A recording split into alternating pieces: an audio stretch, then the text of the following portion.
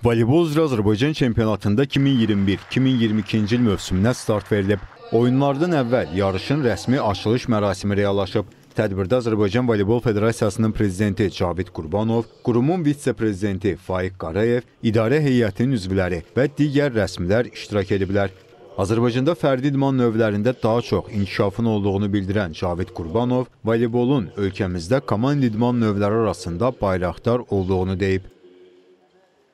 Ümumiyyətlə xarici Avropa dövlətlərində əsas komandalar çoxu universitetlərin komandalarıdır. Komandaları yaradılmalıdır və biz də onlara şərait yaratmalıyıq ki, onların e, icazələrinin alınması, onlara yardımların edilməsi, e, formaların dünyada olan standartların qəbul olunmuş standartların onlara deyilməsi bu formada etmək lazımdır. Yəqin ki, mən Azareliyə keçirəm.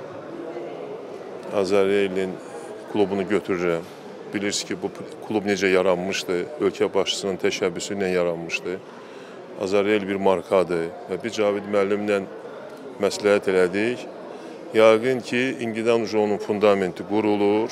Gələnləri biz istəyirik ki, Azarel Avrokubokda oynasın və Azarelin bazasında yığma komandanın həmişə kimi bünövrəsi qorulsun və o komandaya yəqin mən hələ gəncəm,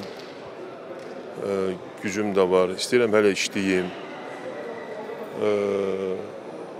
Özüm istəyirəm yığma komandaya rəhbərlik eləyim, amma bir sistem şəklində yanımdakı olan məşqçilərlə bir yerdə Dövlət himnindən sonra isə arena komandaların ixtiyarına verilib.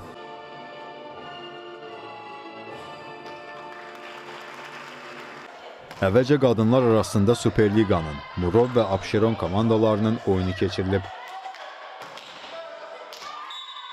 Ardınca kişilər arasında yüksək liqa çərçivəsində Moik Neftçi maçı reallaşıb.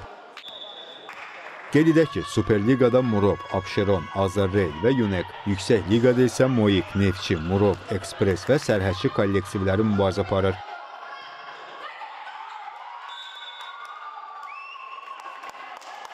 Qadın voleybolçuların yarışı 6, kişilərin turniri isə 4 dövrədən ibarət olacaq. Yekunda xallar bərabər olarsa, çempion qələbə sayına əsasən elan ediləcək.